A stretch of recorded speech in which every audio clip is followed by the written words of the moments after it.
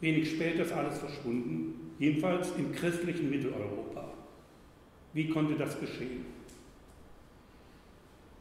Es gibt eine Fülle von Theorien, warum das Imperium Romanum samt seiner Kultur untergegangen ist. Wobei der Begriff Untergang eigentlich nicht stimmt. Denn erstens lebt die antike Kultur im Osten des Reiches, in Byzanz, dem ehemaligen Konstantinopel, weiter. Und zweitens gibt es eine Macht am Mittelmeer, die sich als Retter der antiken Kultur verdient macht, der arabische Islam. Einen Untergang der antiken Kultur, ein finsteres Mittelalter, gibt es also nur im Bereich der Papstkirche, im lateinsprachigen Mitteleuropa. Eine wichtige Differenzierung, die selbst in der Forschungsliteratur häufig nicht beachtet wird, ebenso wichtig wie die Unterscheidung zwischen der vom Juden Jesus gegründeten Variante des Christentums und der Einrichtung, die wir heute christliche Kirche nennen, die sogar im Gottesbild von der Lehre Jesu abweicht. Auf die in der historischen Forschung diskutierten zahlreichen Ursachen des angeblichen Untergangs der antiken Kultur kann ich hier nicht weiter eingehen. Ich habe sie im Schattenbuch ausführlich diskutiert. Meist werden, wie gesagt, die Germanen verantwortlich gemacht. Sie hätten auf dem Forum Romanum ihre Wildschweine auf dem Feuer der Bibliotheksbücher gegrillt und so die antike Kultur vernichtet. Der Frankfurter Historiker Johannes Fried meint, die Germanen seien fürs Erste ungeeignet zur Fortführung der hochentwickelten Zivilisation und der verfeindeten Lebensform der römischen Welt gewesen. Diese Theorie hält einer gründlichen Nachforschung nicht statt. Denn die Immigranten haben auf allen Ebenen auch staatserhaltend gewirkt, wie war am Paradebeispiel des Theodorich, am angeblich von wilden Barbaren mehrmals durchzogenen, dennoch kulturell blühenden Gallien und am munteren, vandalenreichen Nordafrika beobachten können. Kein Immigrant, der im neuen Land leben möchte, zerstört dessen Infrastruktur.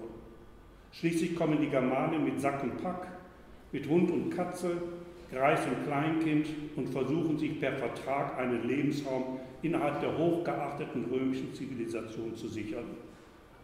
Die Germanen wissen ganz genau, was sie erwartet. Schließlich treiben sie seit Jahrhunderten mit den Römern quer über den Limes hinweg Handel und um 350 sind etwa 50 Prozent der Dienstposten der Legionen mit Germanen gefüllt. Der große Althistoriker Mommsen jedenfalls stützt Frieds Kommentar nicht.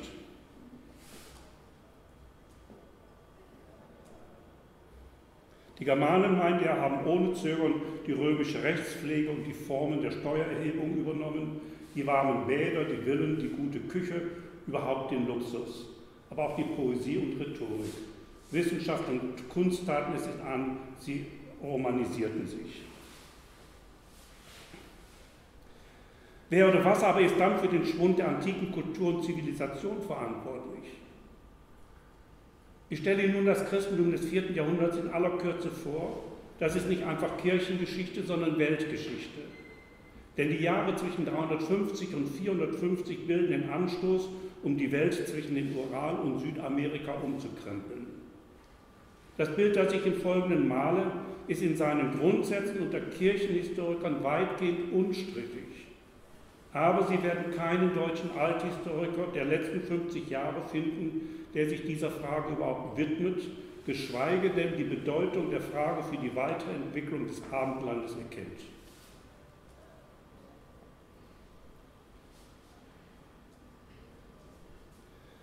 Wir schreiben das vierte Jahrhundert und noch immer kämpfen christliche Fraktionen aller Sorten um Wahrheit, Einfluss und Macht. Mal ist Jesus ein Sohn Gottes, mal ein Prophet, mal ein Mix. Jeder ist jeden Feindes. Heretiker nennen sie sich untereinander und Athanasius, der Bischof aus Mailand dieser Zeit, urteilt über die christlichen Brüder und Schwestern, die Lehre der Heretiker seien wie der Auswurf eines Hundes.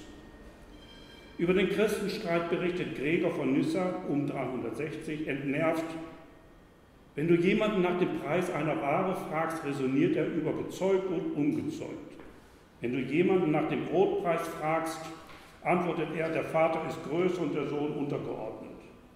Wenn du fragst, ob das Bad gerichtet ist, antwortet der Bademeister, der Sohn ist aus nichts geschaffen.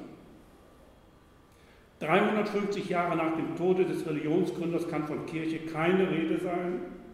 noch ist das Christentum auf einem triumphalen Vormarsch, wie die Zahlen belegen.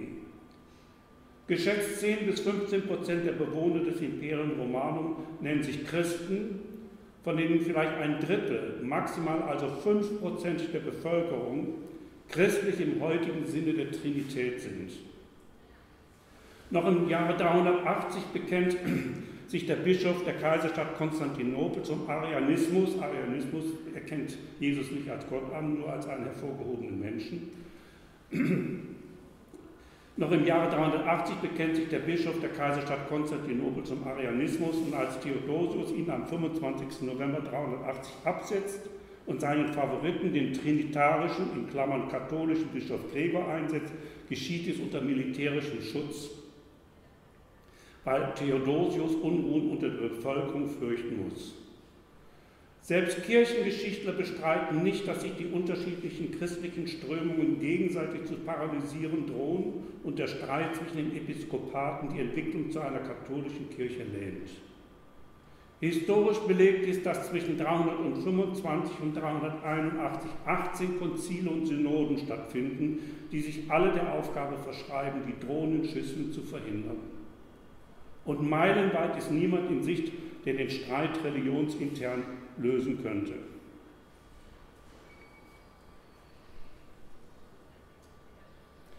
Derjenige, der 380 die katholische Fraktion des Christentums unter Androhung der Enteignung und Vertreibung widerspenstiger durchsetzt, heißt Theodosius. Er ist römischer Kaiser, hat also die Macht, die Religion der Untertanen zu bestimmen, so wie dies 361 Kaiser Julian tat, der die alte Götterlehre wieder in Kraft setzte. Theodosius ist ein spanischer Haudegen mäßiger Bildung, stammt aus einem fromm-katholischen Haus, wenn man in dieser religiös fraktionierten Zeit überhaupt von katholisch sprechen will. Theodosius leitet mit einem Grundsatzerlass eine Wende ein, die es in sich hat. Alle Völker, über die wir ein mildes und maßvolles Regiment führen, sollen sich, so ist unser Wille, zu der Religion bekehren, die der göttliche Apostel Petrus den Römern überliefert hat. Das bedeutet, dass wir an eine Gottheit des Vaters, des Sohnes und des Heiligen Geistes in gleicher Majestät und heiliger Dreifaltigkeit glauben. Nur diejenigen, die diesem Gesetz folgen, sollen, so gebieten wir katholische Christen heißen dürfen. Die übrigen, die wir für wahrhaft toll und wahnsinnig erklären, haben die Schande ketzerische Lehre zu ertragen. Mit diesem Ermächtigungsgesetz und weiteren 60 Erlassen wird der Katholizismus zur einzig zulässigen Religion bestimmt. Alle übrigen Religionen und Konfessionen werden als ketzerische und heretische Verirrungen vogelfrei erklärt. Dieser Kaisererlass wird im Mai 381 auf eine Synode in Konstantinopel durch die katholischen Bischöfe bestätigt. Staat und Katholizismus bilden nunmehr eine übermächtige, omnipotente Allianz, die in den folgenden 1500 Jahren Europas Schicksal und das der westlichen Welt bestimmen wird. Sie wird Ost- und Westrom zu unversöhnlichen Gegnern machen, den Aufstieg der arabischen Variante des Monotheismus, des Islams, befördern und ganz wesentlich zur Zerstörung des einstmals geschlossenen Kulturraums Mittelmeer beitragen. Das Jahr 380 steht für einen Paradigmenwechsel, für die Ablösung einer universalen Hochkultur, für den Übergang in ein finsteres Mittelalter. Natürlich ist die antike Kultur mit ihren Bezügen auf die heidnischen Gottheiten und den philosophischen Diskussionen rund um die Frage, was man tun müsse, um im Diesseits glücklich zu werden, für den Katholizismus mit seinen Dogmen von der Nichtigkeit des Diesseits unakzeptabel. Die meisten Kleriker der damaligen Zeit stimmen darin überein, dass die antike Kultur mit ihrer Körper- und Diesseitsakzentuierung entartete Kultur sei und antike Texte nur so lange erwünscht sind, wie sie als Markt im Dienste der kirchlichen Sache stehen und die Interpretation der Heiligen Schriften fördern. Thermen, Theater, Foren sind als heidnische Überbleibsel unerwünscht, öffentliche Schulen überflüssig, denn die Kirchenväter haben alles gesagt, was zu sagen ist. Der ansonsten durchaus kirchenfreundliche Medievist Johannes Fried muss zugeben, Zitat, Gregor der Große führte gleichsam den Todesstoß gegen die spätantike Schulbildung und brachte sie endgültig zum Erliegen. Die Folgen der allgegenwärtigen und alles dominierenden Jenseitsorientierung und der Überbetonung der Vergänglichkeit der Menschen sind verheerend. Mit der Ernennung des Christentums zur Staatskirche gehen als erstes die Theater unter. Tertullian hatte schon im dritten Jahrhundert die Schamlosigkeit der Theater erkannt. Wer als Christ, so meint er, Schauspiele besuche, begebe sich in die Gesellschaft der Dämonen. Und so kommt es im Jahre 426 auch zur Schließung des ihnen vorgeführten Theaters von Epidaurus. Gleichzeitig verbietet die Kirche warme Bäder und erlaubt lediglich Kleinkindern warm zu baden, was mit dem Tod der antiken Badekultur gleichzusetzen ist. Mit den Theatern und Thermen gehen die öffentlichen Schulen, die öffentlichen Bibliotheken und die Skulpturen unter. An die Stelle des sterbenden Gallios oder der Laokoon-Gruppe treten nunmehr Steinheilige in langen Gewändern auf.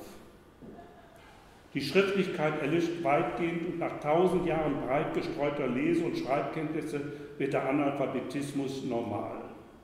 Selbst Kaiser können nicht mehr lesen und schreiben und das Volk nennt sie gekrönte Esel.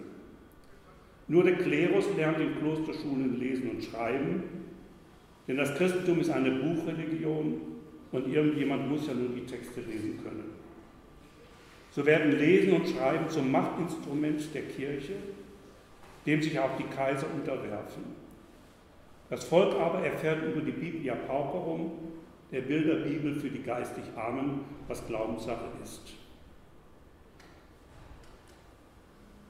So sterben also die öffentlichen Schulen, die Theater, die Philosophieschulen und die öffentlichen Bibliotheken mit Hunderttausenden von Büchern. 300 Jahre später umfasst der Bibliothekskatalog von Kloster Reichenau aus dem Jahre 821 noch rund 425 Bände. Die gern zitierte Zentralbibliothek von Lorch verfügt im 9. Jahrhundert über 500 Bände. Als größte Klosterbibliothek des Hochmittelalters gilt St. Gallen. Sie soll im 12. Jahrhundert, also rund 800 Jahre, nachdem in Rom 28 öffentliche Bibliotheken mit jeweils Hunderttausenden von Büchern gezählt worden sind, gerade mal 1000 Bände enthalten haben.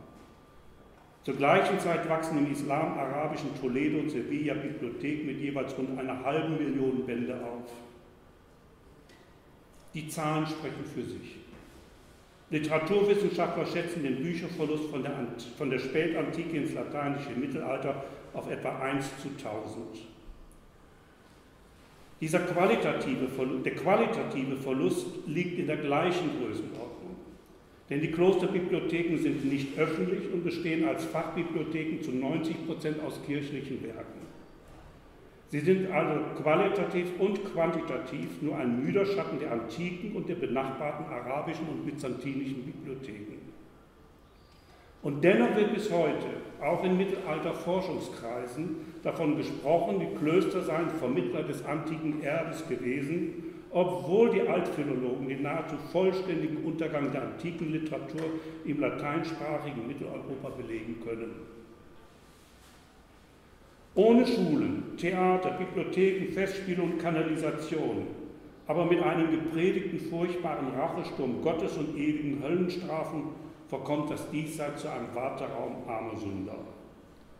Die Bildung verwelkt zu einer schmalbrüstigen Bibelbildung, die Bücher vergammeln, die Freiheit des Denkens und Handelns liegt am Boden, mit ihr die Wissenschaft, die Kreativität, der Innovationsgeist und der Handel. Der mitteleuropäische Kulturraum trocknet aus. Memento Mori ersetzt das Carpe Diem. Die Abkehr von der Welt gilt als höchste Weisheit und wird zum Leitthema der benediktinischen Klöster. Nachlesbar in den Regula Benedicti, sichtbar an den hohen Klostermauern. Soweit zum bedeutendsten Paradigmenwechsel der abendländischen Geschichte im Jahr 380. Wir haben bisher über Kultur im klassischen Sinne gesprochen. Wenden wir uns nun den sozialen Komponenten der damaligen Kirchenkultur zu. Die wohl verheerendste Auswirkung der Allianz von Kirche und Staat ist die zügige Entwicklung einer omnipotenten feudalen Klassengesellschaft. Zur neuen obersten Klasse zählen Fürsten und Bischöfe. Es folgen Herzöge, Ritter und Äbte, als zweiter Stand, danach kommen die Bauern als dritter und letzter Stand. die den weltlichen und kirchlichen Herren Frondienste zu leisten haben. Sie umfassen etwa 90 Prozent der Bevölkerung.